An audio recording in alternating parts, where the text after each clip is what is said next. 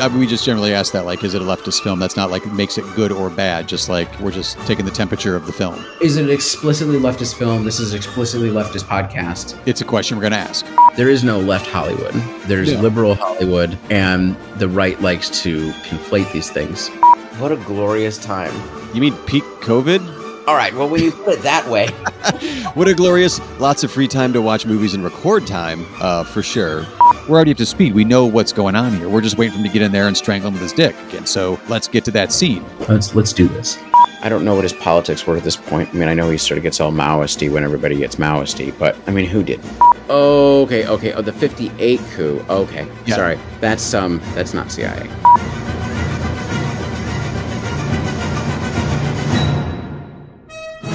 This is a werewolf episode, god damn it. Just not the one Um, you were hoping for. Yeah, and when that happens, when the werewolf comes out, you're like, god damn, all right, this movie's awesome. Victor Ostrovsky, the screenwriter on that, former Mossad agent. Oh wow. Not sure what needs to be unpacked there, but Yeah, uh, I'm sure there's plenty of fuckery here. How many people have you tortured? well, that doesn't really change how fucked the system is. We don't have time for baby steps right now. Because when I watch a Godard movie, I kind of like, this is very smart. I'm very impressed with your form. I want to slap you. It feels so fucking smug. Well, do you think this is a leftist film? Oh, no, no, no, not at all. We're going to have to atone for this movie. Lead a open rebellion, then the camp gets napalmed, and then revolution, I guess? Fuck capitalism. Fuck all of this stuff. Welcome, one. Welcome all to the politics of cinema. On this show, we believe films are never neutral, and especially today. Uh, there's a political as well as an artistic message captured in every film in every time period and in every country, and we're on the lookout for all of it. My name is Aaron Spears. And my name is Isaac Miller. And on this episode, we're looking at the great anti war documentary FTA, Fuck the Army, uh, by Fran- Francine Parker. And um, this is part of our, we figured this out right, three year anniversary celebration, correct? Yes, three years in the can, as you can call it, starting Yeah. off on the fourth year. our second our our, our second um episode celebrating documentaries um of the Vietnam War anti-war movement not just about the Vietnam War but specifically about the anti-war movement Well, documentary today. Milestones just felt like a documentary on the previous episode. oh good point Yeah. I I think your dad even mentioned that when we talked to him on last episode. Uh, so see last episode on Robert Kramer and John Douglas's Milestones film, which um, very much feels like a documentary. So I dig that sure aesthetic. does. It sure does. I mean I think in a lot of ways it is right I mean it isn't but it also yeah, I think it's one of those ones that it, in a certain sense blurs the line it does. It does. Uh, yeah, see previous episode for that one.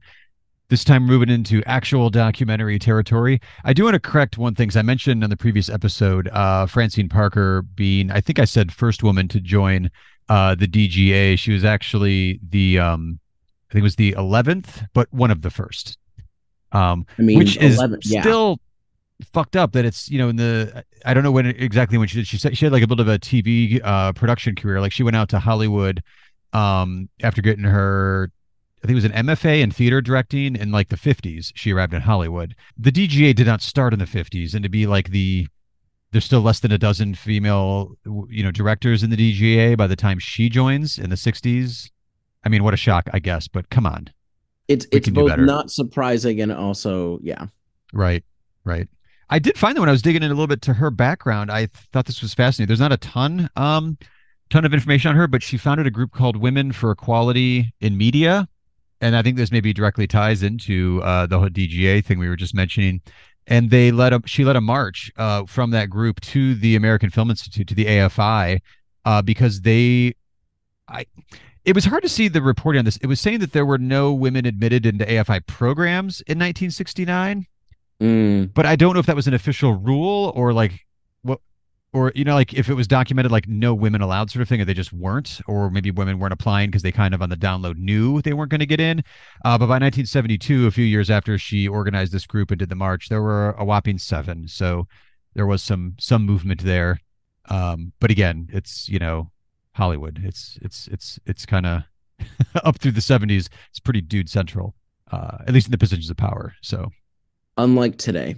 unlike today where it's it's all changed. But yeah, she ended up doing a lot of TV production, but then is the uh, is the director for um, FTA Fuck the Army, the documentary from 1972, which in turn is about the FTA show or the FTA tour um, from 1971. It was an anti-Vietnam War uh, road show um, designed. I mean, it's pretty much designed. I don't want to say, is it parody? That's not the right word. Designed to combat or to counter those uh, awful Bob Hope USO tour kind of things. Yeah, no, it's well, I mean, I I mean, in, in a certain sense, it's parody, but it's it's also a direct political counter to them. Yeah, You know, what's interesting about it, the way that they frame it, and you know, I mean, part of it is if you watch this on Netflix, which is the only way, you know, well, which you know, we'll get into what happened to this movie. But basically, I mean, you know, Jane Fonda frames it this way. She does a little introduction to it, but you know that this that this was you know the that this is directly even though you know obviously the people who were on stage doing this you know Holly Near and Donald Sutherland and you know and uh and Jane Fonda and so so forth are not you know veterans um Right. their material comes directly from anti-war veterans newspapers like the jokes and things they're doing come directly from veterans and they're for active soldiers airmen and and seamen and whatever. Yeah. um as and it as as direct propaganda to attempt to undermine the capacity of to to to get to get soldiers to rebel. I mean there's you know they're they're doing stage acts that involve fracking. Like it's yeah, which means uh for anybody in the audience who doesn't know which means killing your officers or fragging sorry not fragging bragging. Oh, sorry, yeah. but uh yeah no fragging Fragging, fragmentation yeah. grenade you throw it in the tent yeah Which is sort of an in- interesting too, because the original idea for the tour uh, came from Howard Levy, an ex-army doctor. He was released from a military prison because he was refusing to train. I think it was was it the Marines or Green Berets or, or something who were on the way to Vietnam. So when he got out, kind of he recruited uh, Jane Fonda, and she was on board, and then she got Donald Sutherland, a recent co-star of hers uh, from Klute, I believe. Yes. And then you know it was it's it's which i think they mentioned i'm i'm this is messing my head now because it's a documentary which i love watching but then i also read a lot about it and the production and now i can't remember what was like stuff i read about the documentary and what's in the documentary. So the documents that i read about the documentary are kind of blurring the lines for me. But they were specifically wanted you know a, a, a racially and gender diverse group of performers on this tour again to counter the bob hope uso sort of tour that was not um i guess. But also you have hollywood uh backing you in a different way than you have well, i mean bob hope's hollywood to a certain extent but you have people behind the scenes doing the writing and scripting but then also the performers like these are these are professionals. Like these are pro performers and musicians and artists and poets that are on stage and doing a much more diverse lineup than like bob hope one liners and then some dancing girls you know? Well part of part of the thing about this sort of the generational politics of this right? Mhm. bob hope is world is the world war ii generation. Oh yeah he's yeah. the, he's the soldier's dad's generation. Yeah that's true. Which you know in our it's you know it's a really interesting thing this is a total side note within this sort of like generational politics anti-boomer boomer as not literally baby boomers but some sort of like effigy of reaction sort of politics that's come in the last few years which is sort of a reaction to sort of the ways that millennials were framed in the post 2008 moment within a lot of the media. Basically this sort of World War II generation totally gets and and you know Korea whatever gets sort of framed out of it when you know actually a lot of what you're talking about is them. Anyway, side note, yeah but no, it's like so like you're you're going against this Bob Hope, you know Roach. I mean, it's you know it. You know how old hat is Bob Hope in the early '70s? Well, uh, funny you should say that because one of the things I looked up then was like, well, if it's it's if it's sort of I don't know mocking the Bob Hope USO tour, uh, Mhm. rightfully so. I was like, wait, what? How was he touring during the Vietnam era? Bob Hope. He did 57 tours between 41 and 1991. Yeah. So, yes, he was. So this is very much like, okay, we'll take this formula and we're going to make it better and more biting and more satirical and it, it's an interesting visual also to have in your mind of um, if you haven't seen any of the Bob Hope USO tours, look up, you know, watch a couple minutes on YouTube, get it, kind of get a flavor for it. The crowds that are documented in FTA go into this tour are, I you know, at least equal, if not more, on some occasions. Oh yeah. So that's Well, also and- really impressive. And the, well, they have a show where they've got like double the number of people. They can't get them all in. Oh, that's right. Yeah, people were. Yeah, they they were way past capacity already. People still waiting outside.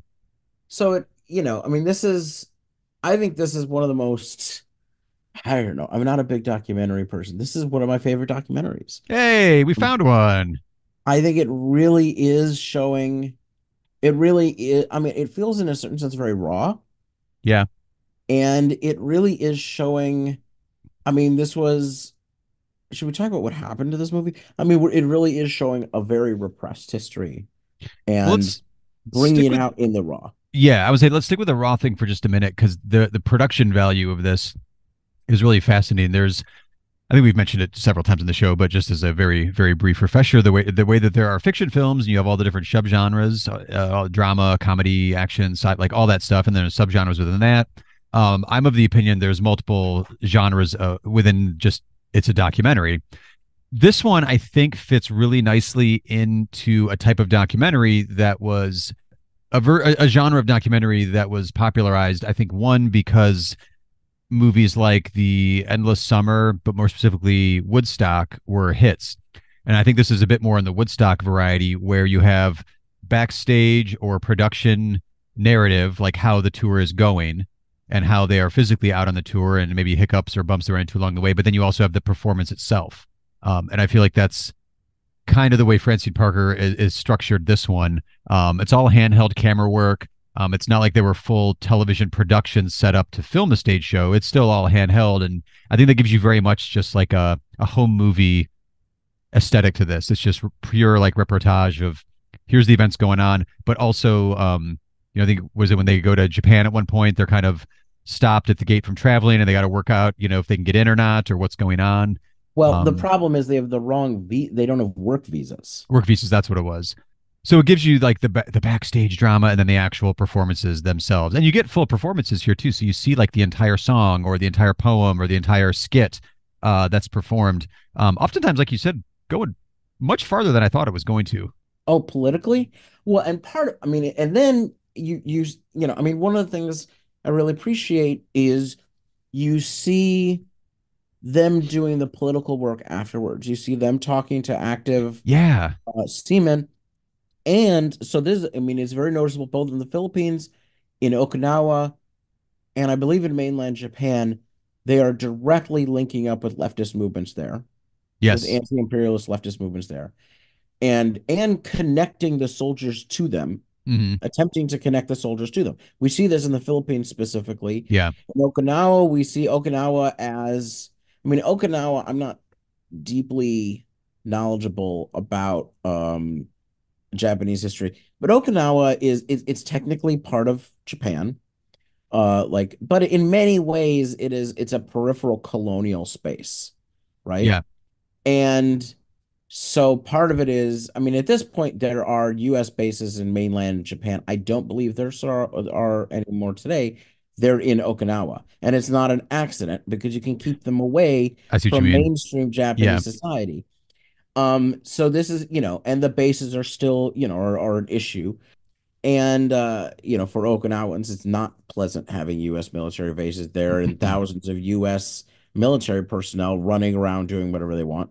Mhm. So like I think it's I think that's re it's really impressive for showing the, the the organizing and movement work they're doing in the international side. It is a, a fantastic example of how to do international solidarity yeah and connecting it to very complicated organizing within the military apparatus itself. I Right. mean, it's I, I, it's really something that needs to be seen by active um, organizers uh, and anti-imperialists today.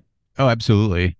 Well, and also aside from just that too, when you're not seeing the stage performances uh, of the tour itself, I like very much how it's framed almost like the camera is just curious as stuff's happening. They're like, oh well, let's go see what's going on here. Like when they're in the Philippines, there's a whole parade that's going on for uh, Bonifacio Day. I may be mispronouncing that, where we don't see any of the quote unquote stars of the FTA tour itself. It's like it's just documenting this uh, celebration that's going on in the Philippines uh, for one of the national heroes. And you even see at one point there's like people that are role playing um, during this parade and sort of a, a, a narrative where I think it's a woman who's like tied up in her arms, and there's somebody wearing like an American flag next to like an Exxon flag. There, somebody else is wearing like a Shell flag, and then there's a little role playing that goes on around this main statue during the celebration. Um, that gives you some context for like what environment are they going into on this stop of the tour, and what has been going on here, and the role of you know obviously U.S. and international corporations uh, destroying the country and whatnot. It's it's just fun little, not fun. It's very informative and interesting little digressions that happen throughout this narrative as they're traveling around as well, which I really appreciated. Yeah, no, I I just I just love that element of it. I love yeah. how much it is of its moment. It's interesting watching. it's interesting watching Jane Fonda during some of those discussions because you can totally tell. And she feels like the theory head there. She sounds like she sounds like the more doctrinaire like leftist. like the line is there. Yeah, uh, it, it's it's. I mean, she sort of jumps in a little bit. You can tell she's been reading stuff. It's it's it's interesting. Uh, you know that she's you know yeah she's, she's hardcore. I don't mean this in like a, a mean way or anything, but it was a, a couple points where I was like, I think I can tell what you're reading while you're out on tour right now. It's like that when you're excited about like not necessarily learning something new, but diving in a little bit deeper, and you're like, you want to share this stuff, and you're like, and it wasn't right. just like surface level talking points. It was like there, there's a there's a discussion going on here. This is really fascinating. Right. Yeah. yeah. Well, I mean, I, I, and that's the edited version we're seeing. We don't know how long some of those meet and greets and hangouts and, and chat sessions were. I would assume just hours. Absolutely. And yeah. we're getting a few minutes of it in the documentary. Yeah. No, I I love. Yeah. No, I love this documentary. it's great. Uh, I love. Uh, what is the feminist song they do? Oh, I didn't actually write down song titles. Sorry. Um, but they have a they have a whole they have a whole song against catcalling. Oh, right, right, right. Yeah. I would say there's definitely the FTA song. That's classic now in my head. And it's also like it's it's getting a great reaction from these packed, packed, you know, uh auditoriums and and and uh performance halls and things right. too. Um and it's you know, you're like, oh yes, this message is being receptive. Well, it, it it speaks to the way that I mean, part of it is is this is not material they came up with. I mean, I'm sure they wrote the songs, they put things together, but they're basing it off of material from active active military personnel, right? It speaks right. directly to their audiences. So in a certain part of the political work they're doing is helping to spread the, you know, helping to spread yeah is is being a connector, you know. Yeah. Yeah.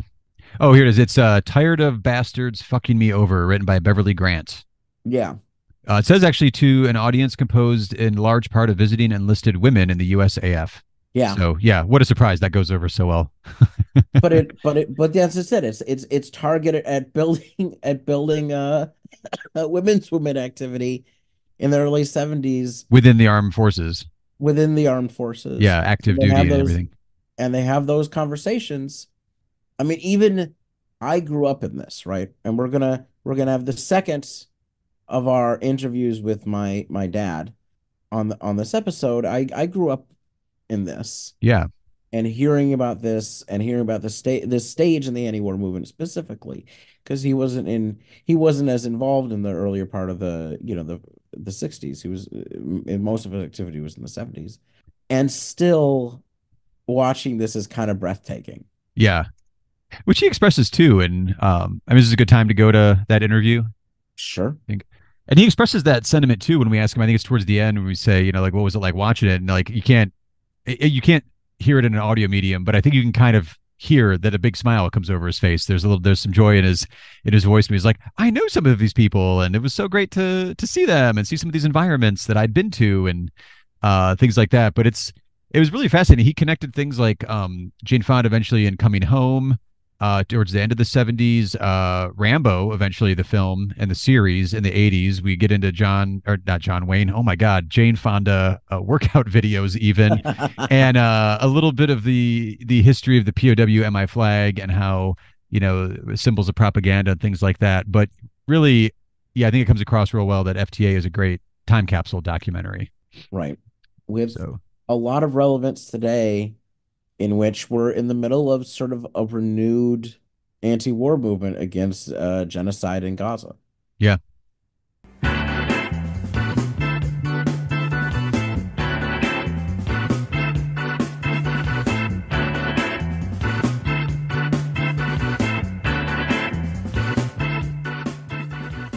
I did want to ask first because it came up when we were talking about milestones. Was the film version of FTA was that more at least discussed or widely not widely seen, but was it more was there an awareness that it was out when it came out? No, I never saw it. I never saw it when it came out. Did you know it existed? I knew it existed. I knew it was being done. I knew they were working on it, uh, you know, and making films and stuff. But I didn't know in great detail because I wasn't involved in it. Mm-hmm. But then it just disappeared. We did had no had no access to it because you know it was only one week that uh, Yeah. even available in a theater. So I, I never saw it. And um, I, I think in part we were so busy at that point that it wasn't a lot of time to go into detail about it or what, what you're going to do. And probably technically it, it would have been, perhaps it would have been diff, more difficult to retrieve it. But also you've got the company that that was issuing the film and completely Yeah. it just i mean it just disappeared the copies disappeared everything so it sounds to me like a little fbi action there really seriously No, it is. Um, the guy Samuel Arkoff, who was running AIP, who was the distributor. Yeah, there's some pretty solid documentation that like there was a couple phone calls and like pull this. yeah um, you know, keep it out of the theaters. And when it was released in 72, that wasn't the way we think of films being released now either. It wasn't like it was on 2,000 screens or, right you know, would really widespread. It was probably a few few cities here and there, major cities. So, in that yeah. first week particularly Right, you know right.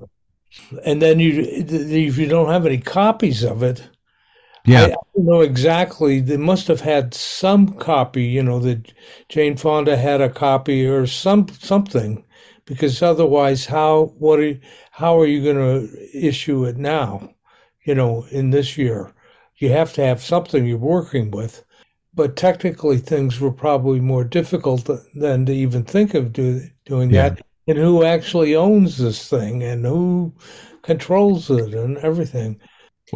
I'd mentioned to Isaac last week or so when we were talking, the guy, Sam Arkoff, who was running AIP, who distributed it, he like courted controversy all the time and anything to like sell more tickets and all that. So it, it sounded to me very accurate that like he would have been pressured to pull it rather than because like otherwise you could melt controversy and sell tickets and make money, which was what his his intent really was.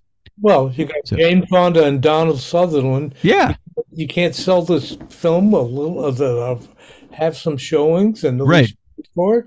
yeah, coming off of like Klute and her uh, Academy Award and everything else, like she was, you know, top actress in Hollywood in your documentary here.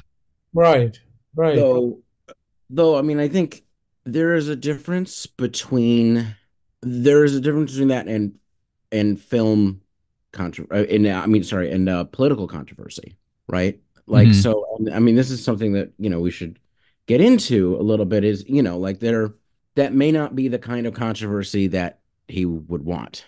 I I could be wrong. I don't know. Well, the more people that you had that saw this film, the better it would be.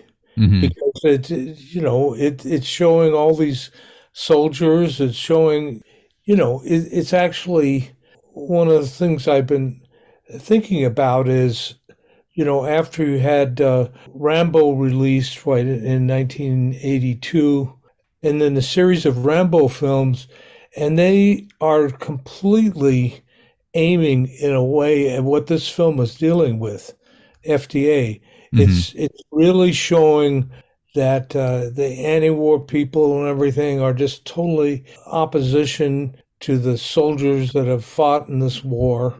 So there's a there's a whole decades that are still continuing. You know, where where you still have these MI MIA flags flying at post offices. Yeah. This is 50 years later, Yeah. still flying there saying missing in action. And this is, in, in essence, is saying in a way that the war is not over and we can lose, you know. Mhm. And it was, it was these anti-war activists in part because they were spitting on the soldiers as they came out of the airports. You know, this whole spit on, which there's no documentation for. Yeah. You can't find any example. you know, there's no photograph, there's no nothing. It's just, but that went on for decades too, that they, those anti-war activists were spitting on the soldiers as they came home. And then the ones that didn't come home, they didn't care about them and they're Yeah. missing action. When did the uh that myth of the whole spitting on the soldiers thing was that something that came about in the 70s or was that more like in the Rambo era once, you know, Reagan was was in power here? I feel like it's a 70s thing. I don't think. Yeah, it was the 70s and 80s. Actually, um, I, I read it, but it's a long time ago. Jerry Lembcke wrote a book called The Spitting Image, and it really goes back through the whole spitting thing and essentially takes it apart because it, it just, there's no real examples. I don't remember any of this stuff. What I remember is demonstrations. Uh, I went to one uh, big one when I was still in California, up in San Francisco, because there was um, these soldiers that had been arrested that were at the Presidio. So it was, I think it was the Presidio 11. So we were going anti-war demonstrations supporting the soldiers at the Presidio that got arrested, and there were th- tens of thousands of people at this demonstration. That was a typical thing, and all across the country, you had GI coffee houses that were set up, and they were basically an element of of the anti-war movement. You know, to have coffee houses for GIs, it was the complete opposite of spitting on the complete. It was like, here, come in and have coffee. And uh, I was going to work at volunteer one in in Monterey, hmm uh, but I got I got turned down for it because I think they were a little suspicious of me because my father was working for the Defense Department. And Oh. uh, so, and so I was like, what is this guy going to be? Some kind of spy in our midst or something? yeah, you got a narc in our midst. they they turned they turned me down, but I wanted to to volunteer there. So it was very typical to have soldiers part of the anti-war demonstrations, the sort of thing that you would see in the FTA um, Mhm. Movie. You see that, you know, particularly as you get into the 70s, particularly, but even before then.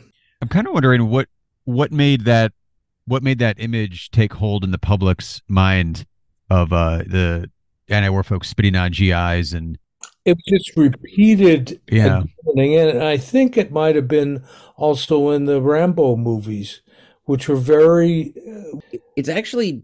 So I should just. So we have covered Rambo on yeah, this podcast. I don't actually think it is. five I think it- movies, right? No, it's it's actually mentioned in the first one. I think he says he says that it happened once in the first one.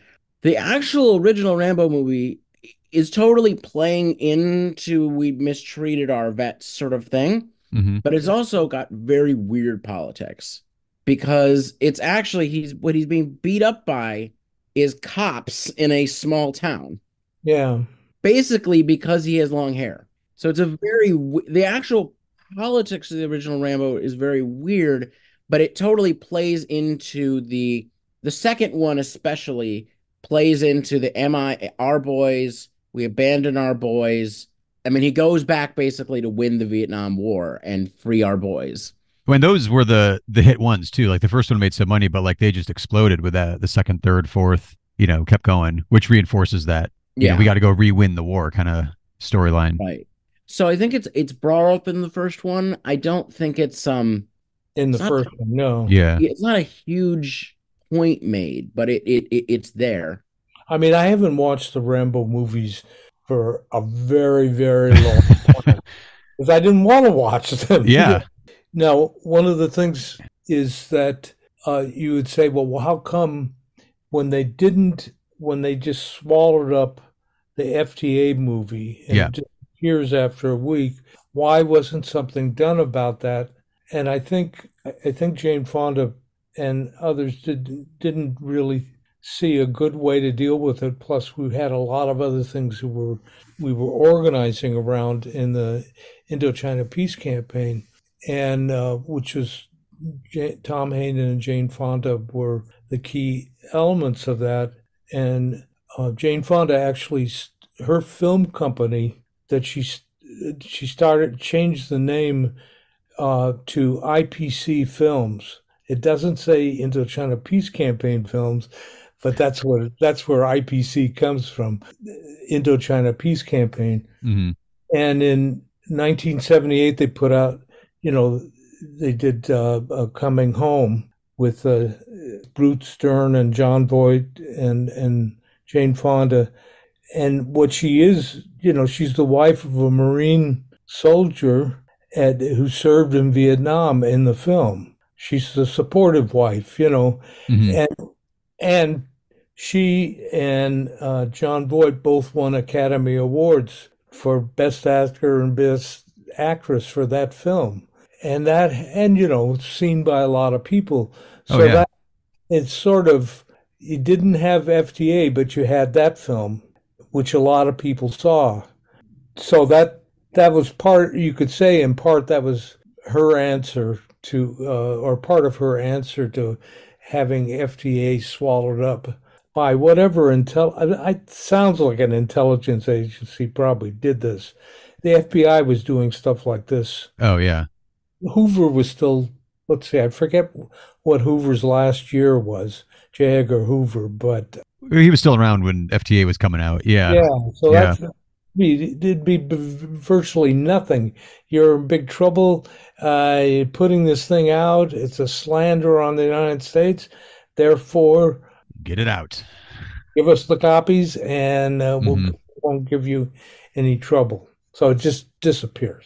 But no, but it is interesting, you know, how contested. So IPC Films, which comes directly out of the anti-war movement, puts out a Best Picture by 78. Yeah. It's, I mean, part of the thing about FTA, I mean, this is a movie that's basically saying frag your officers. Like, I mean, there are points where they're basically saying, so it's not surprising that they're able to, know, you know they're going to go after this very hard.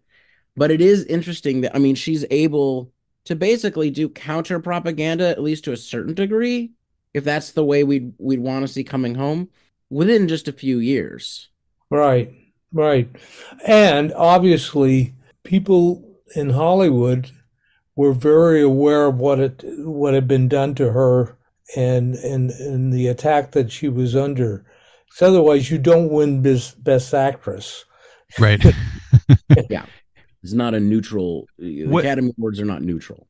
Well, no. Yeah, I mean, she so she was the best actress, but she she wouldn't have won it. I think it's amazing to say that, see the film now and have it widely available, uh, you know, on Netflix and Yeah, Netflix of all places. It just it goes Yeah, from there. being like forbidden and uh no one's allowed to see it to like the biggest streaming platform we've got now is just a click away. yeah, Let's talk. I, I, I want to say a little bit about.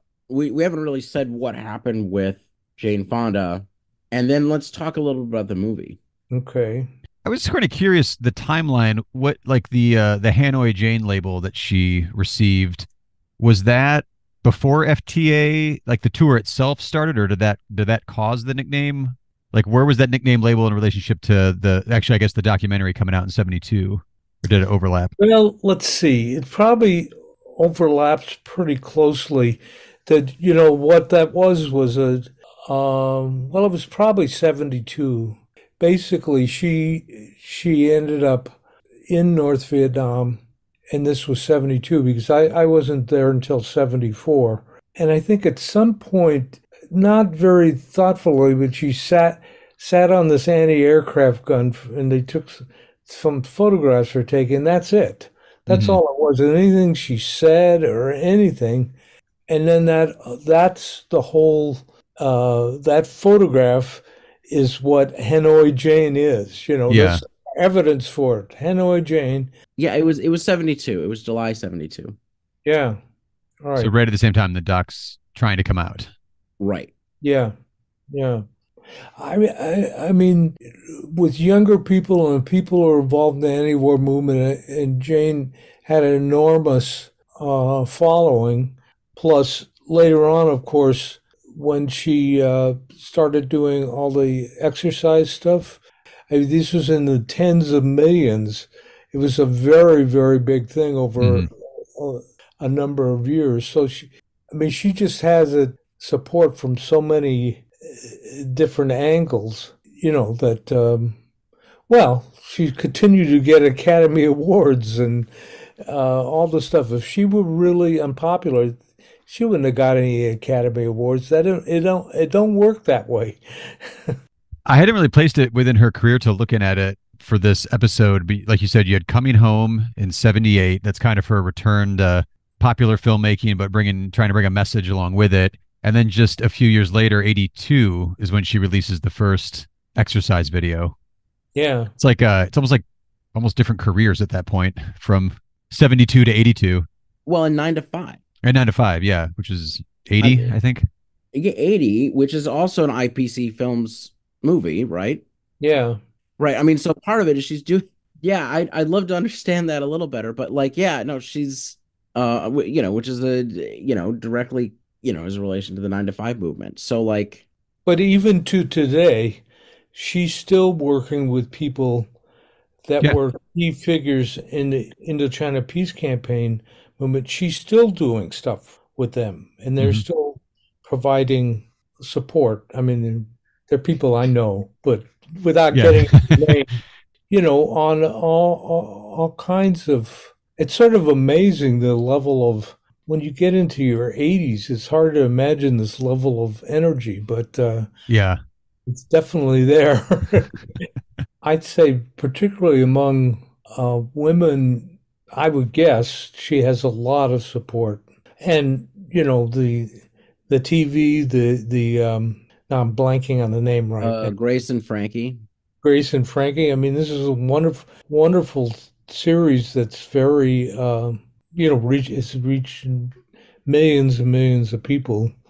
So, I, I've got to say, she's somebody I've known only tangentially, but but she's a really impressive person. Just a, personality and how you get through Hollywood and doing all that stuff and ended up so engaged and so open to change and open to new new approaches to things and all the way through up to the present. It's amazing. Yeah.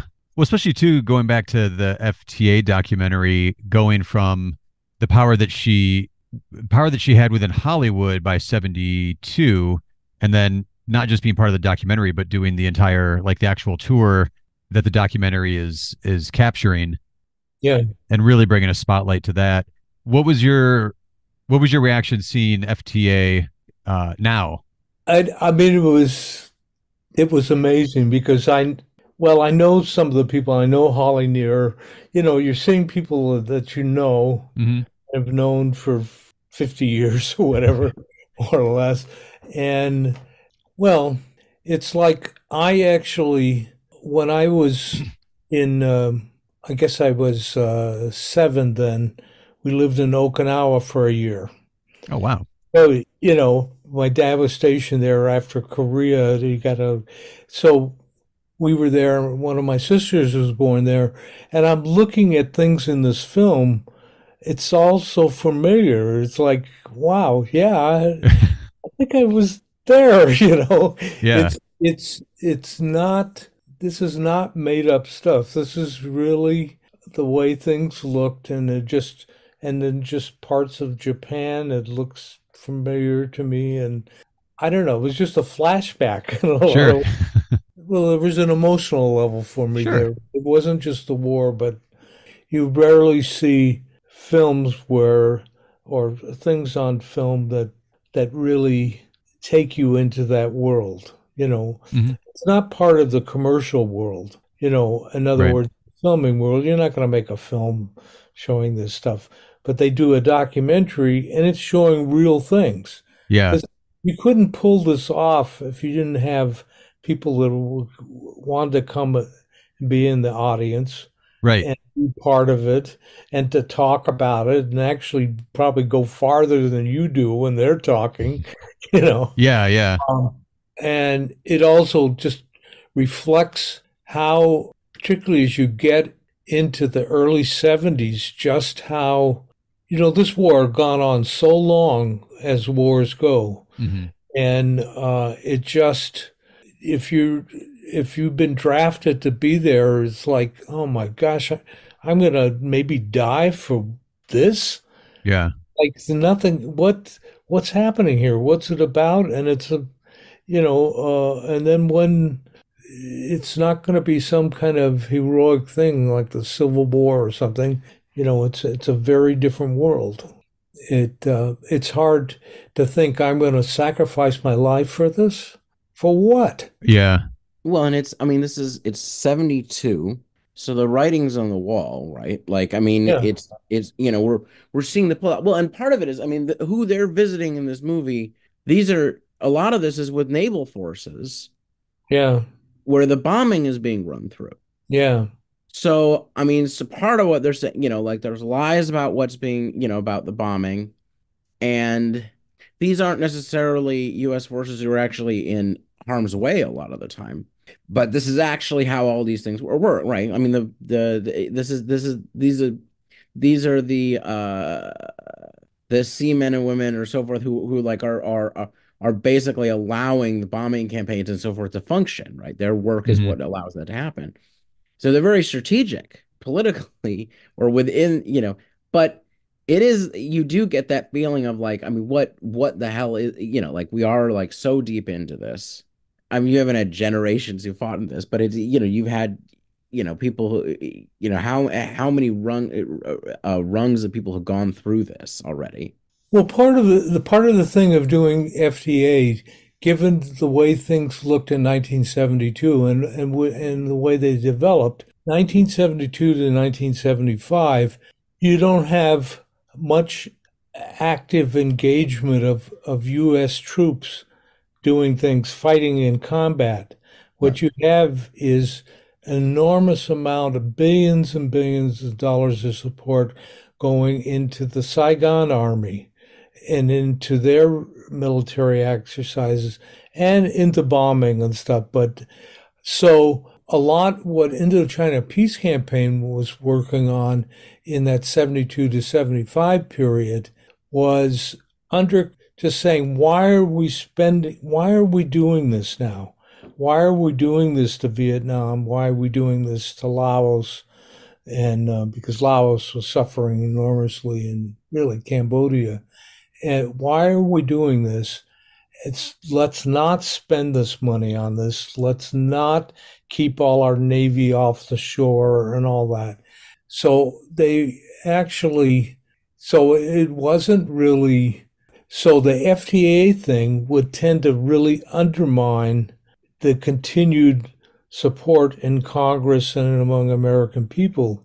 So that's a large reason to get rid of this movie. Hmm just disappear it because it it undermines you politically in terms of keeping this enormous level of support to the Saigon government, to the regime, and to what we were doing in in in Laos. Laos was always the secondhand thing nobody ever thought about, but they get just bombed and poisoned, amazing, and they still are suffering from it all these decades later, hmm and also in Vietnam too. Yeah.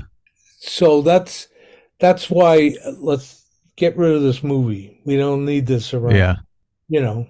It's even kind of shocking. One of the things I kept thinking of while watching the documentary was I was shocked that the tour itself was allowed to happen, like physically, like before Yeah. the documentary is even a thought that like this tour is going on, and it was I don't know. Well, I mean, they have they have trouble getting into Japan. Yeah. Right. clear if that's political or if they literally are just having bureaucratic issues. But it it wouldn't. I mean, it's, it would be hard to believe. I mean, it's, it wouldn't be hard to believe that it is political. No, I mean that's one of the things that hit me. I mean, it's like, you know, technically, how would you stop them? They're not doing them on base, and so forth. But it is kind of it's amazing. Yeah.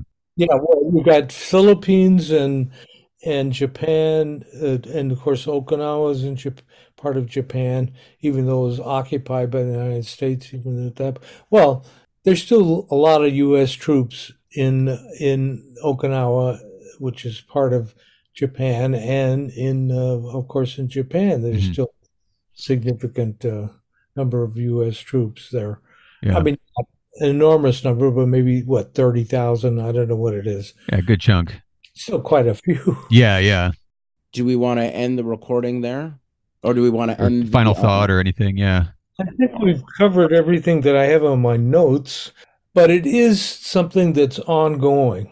Well, The MIA thing, it's still there. It's like I go down to the post office, it's two miles from here. Yep. And there's an MIA flag flying. Well, and also, I, th- I think the flags also, it's like POW and MIA. So it even has the prisoner of war as if it's like a Yeah. contemporary thing. Yeah, Yeah. right? yeah. Which So it's they're still using it. Yeah. Of course, the bulk, the vast bulk of MIAs in American military, hmm you know where they stem from? I don't. the Civil War. There's hundreds of thousands of MIAs in the Sure. Civil War because they never were identified. They were never so. And then we've got this minuscule number of possibles Right. You know, MIAs, but it's it's really they're about two. They're about two thousand, I think, from Vietnam, and of course the Vietnamese have helped us find some. yeah. hmm Yeah, it was the Vietnamese who actually helped us to find find MIA in Vietnam, which makes sense. But you know, it's, But that, also, like that flag and that idea, what that was an invention that wasn't from the Civil War. That was like an invention Oh yeah, in the that was- 70s. Yeah. Yeah, this, I this is- forget. Um, this is prop. It's a pro. It's propaganda. Propaganda. Yeah. Yeah, it's the pro- propaganda. There's specific people that I don't have right in front of me who invented, who came up with this and got it out, and in in a lot of cases were very powerful or wealthy people, you know, obviously, Yeah. and it's it's really a function of the post-war period too. It's the war would have been over when all these, uh, at least for the United States, for sure. But it's still here. Yeah. And Yeah. It's, it's still saying uh, the war. Well, I think part of what it says is we didn't lose the war. The war's still going on. Right. Because there was a thing about the Vietnam War which was really hard. It was unlike Korea and some other wars, it was like we lost that war. We Mhm. totally lost it. Right. Until Rambo stepped in, and then Yeah, right. now we're good.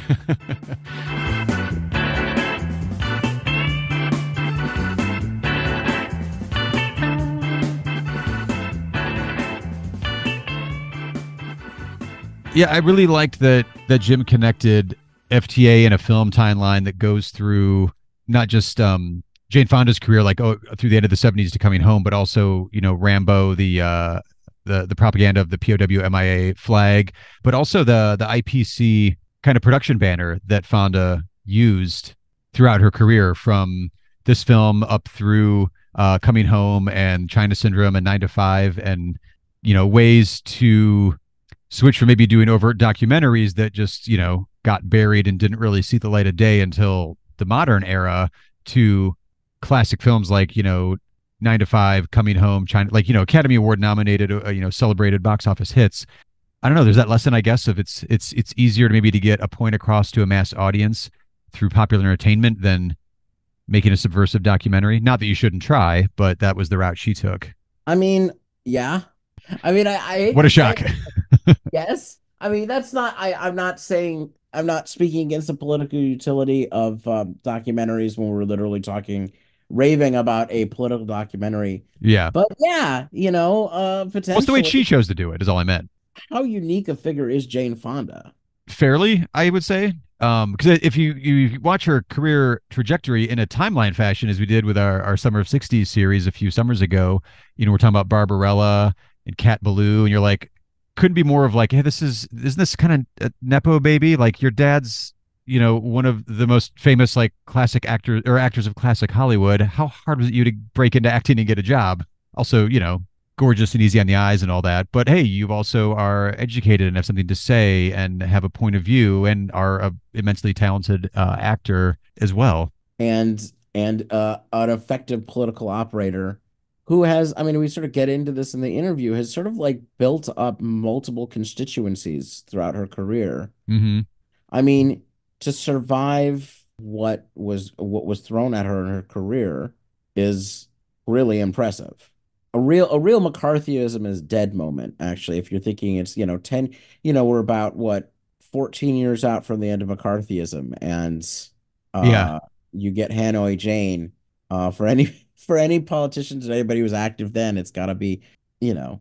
And I think her film career, at least, I don't know what I don't know if suffered for it is the right word, but when you have a run from uh as we mentioned, like Barbarella, they shoot horses, don't they? Klute, uh, Academy Award nominations uh, earlier, you know, early on in your career, box office, you know, hits.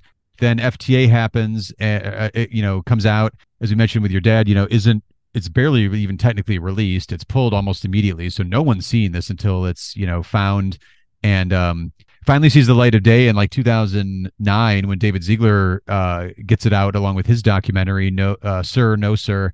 But her her career then after FTA is like Steelyard Blues, Doll's House, The Bluebird, Fun with Dick and Jane, Julia. Like these aren't titles that are associated with Jane Fonda, generally speaking. And she has a very storied career. It's it's almost like the spot where nothing really grabbed the public. And I think that Hanoi Jane kind of as a as a political smear tactic, especially as we're getting deeper into the 70s, really affected her work as far as the public responding to it and getting a box office hit until 78 when you get coming home. Right. Yeah, no, it definitely hurts. Yeah.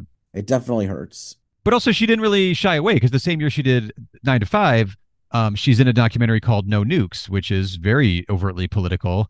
Um, and that's right on you know the birth of the all Reagan's bullshit coming into Well, higher office here and taking over. which is direct i mean no nukes is directly tied to the nuclear freeze movement and the Mhm. anti-war movement at in the 80s i mean it's part of what i love about it is her response is to not stop being political and to just keep going Right. and to swerve a little bit like we're saying you know like doing you know china syndrome or whatever but like or, or coming home so not necessarily just in documentary form but like yeah But then somehow, not to dive into personal life, I guess too far there. But then, um, is married to Ted Turner in the Yeah, I don't nineties. know what's I don't know, I don't know what's going on. I mean, the You 90s, know, I don't. Yeah. look, the 90s really are rough, okay? You know, like peak neoliberalism.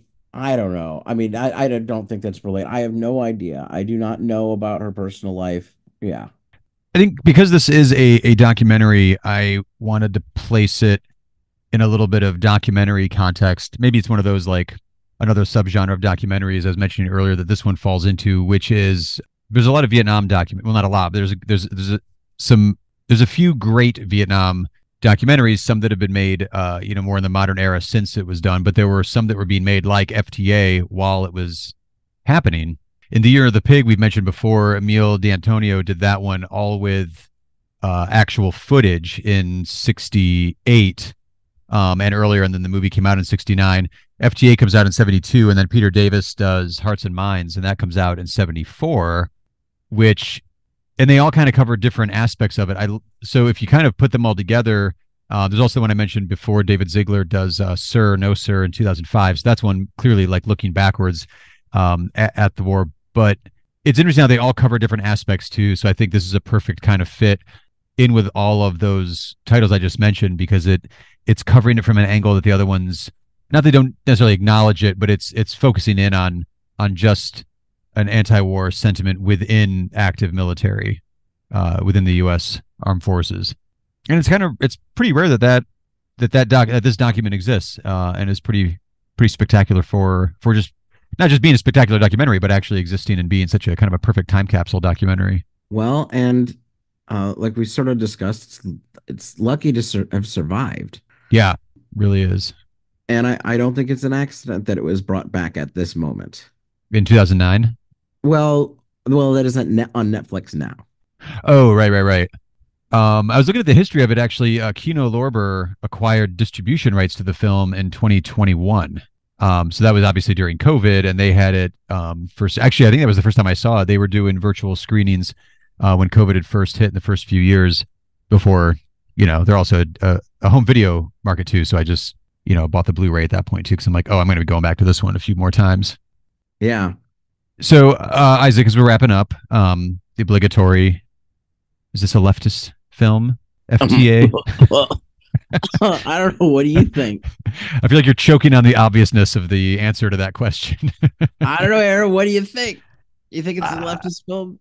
I don't know. Uh, is it inherently leftist to organize a fuck the army tour to tour and show the army and active duty soldiers and then document that with cameras? And While linking up with leftist movement, leftist anti-imperialist movements in multiple occasions throughout Asia. and then once the movie finally comes out, potentially getting calls for people within the Nixon White House saying, "Get this the fuck out of theaters right now," or Hoover, or who knows, but uh, and then doing it and and burying the movie Uh, well, having the distributor of the movie. having the Um, distributor. Yeah, uh, yeah. It feels you know it feels like maybe um the status quo is being challenged here. People aren't liking that. I, I think it's a leftist movie. Indeed, uh, indeed. I, I, sometimes it's fun when you have to debate it through, and then sometimes it's just a quick question at the end of the show when it's just that right. that obvious. All right, well, that wraps up our back-to-back coverage of looking at the the fallout from Vietnam War and anti-war activism in uh, 70s films. What are we turning our eyes towards next, Isaac? well, we're gonna do a movie that I've wanted to do for quite some time. Well, no, time out. It's from 2021. How much? How? What does quite some time mean? Two years. Okay, Longer than two years. The majority of the life of this podcast. whatever. um, tech, technically the majority of the life of this podcast. Yeah, we're gonna do um a pig, which honestly was uh I, I think one of my favorite movie basically my one of my favorite movies, if not my favorite movie the post COVID era. A really impressive debut, directorial debut for Michael uh Sarnoski. And I think of this sort of in the new Cageissance, the new Nicolas Cage renaissance that we are in. I, I think Mandy really uh started that. I think I think that's that's right. Um it was like, oh goddamn, he is good. But I think this is I think this is one of the most impressive uh performances of his career. And one of the most uh, you know, in some ways atypical. Um it's it's a it's a film that shows his his range. And because he's playing, uh, it's set in Oregon, right? It's set in Oregon, yeah. We're going back to uh, Pacific Northwest that we were in last year when we covered Green Room from 2015. That's true. So we'll see what the Pacific Northwest is up to when we see Pig next year. I haven't actually seen this one yet. This is why it's been a, apparently a bone of contention for Isaac that he's been bugging me to watch this. And I was like, well, if we're going to cover it on the show, I'll just wait and watch it when we cover on the show. So no need to run right out. But now I will run right out. I did buy it, so it's ready to go. I don't have to be at the whim of streaming services. When you said it was that good, I was like, all right, I will. uh I will. I will purchase it. So we'll be jumping into Pig on our next show. But before we fully sign off, be sure to rate and review the show in whatever podcast app you are using. And if you enjoy the show, tell a friend or two or three about it. And if you love the show and feel so inclined, uh, we do have a Patreon page set up. Head over to uh, any of the links in the show notes. However, you're listening to this right now, just click them and it'll take you where you want to go. Until next time, I am Aaron. And I am Isaac. And, you know, I say safe out there every episode. And, you know, for the last month and a half, it's been the same thing, which is we're fighting a genocide in Gaza right now. Stay safe and don't stop fighting. This is, I think, the most impressive anti-war movement of my lifetime, but it's also it's a hard fight. I never thought that we'd be able to fight Zionism in the context of the United States specifically, which is where I'm based, as an on as easy even a keel as we are right now, which I know it may not feel like it is. We are not winning by any means, but we are fighting them, which the capacity to do so was not something that we had until recent very recent years. So don't give up. Don't don't lose hope. Pace yourself and and keep up the struggle. because the stakes are as high as it gets.